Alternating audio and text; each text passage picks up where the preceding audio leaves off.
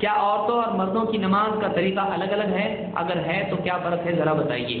औरतों और मर्दों की नमाज़ में कोई फ़र्क नहीं है, इसलिए कि अल्लाह के नबी सल्लल्लाहु अलैहि वसल्लम ने एक सहाबी उनको भेजा वापस अपने बस्ती में और वहाँ पर जाते वक्त में आपने कहा वह सल्लु कमर आई तुम उन्हें उसली तुम ऐसे नमाज़ पढ़ो जैसे मुझको पढ़ता देखते हो। और आपने नहीं बताया कि औरतों के लिए अलग नमाज़ है।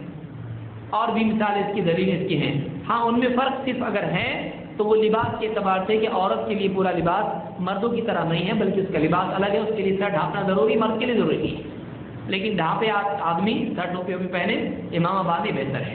इसी तरह से मर्द के पीछे अगर औरत है, इमाम के पीछे अगर इमाम बोलता है, औरत इस तरह से गलती पर तंबी देगी, वो मुँह से कुछ नहीं कहेगी।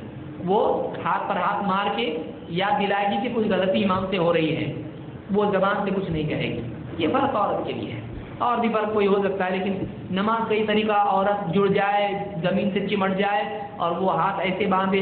अजीब बात है कि सीने पे हाथ बांधने की, बोलने वाले बोलते हैं कि कोई दलील नहीं, और औरतें सारी की सारी सीने पे हाथ बांधे। इनके लिए कहाँ से दलील आई ये कौन सी सीक्रेट दलील है?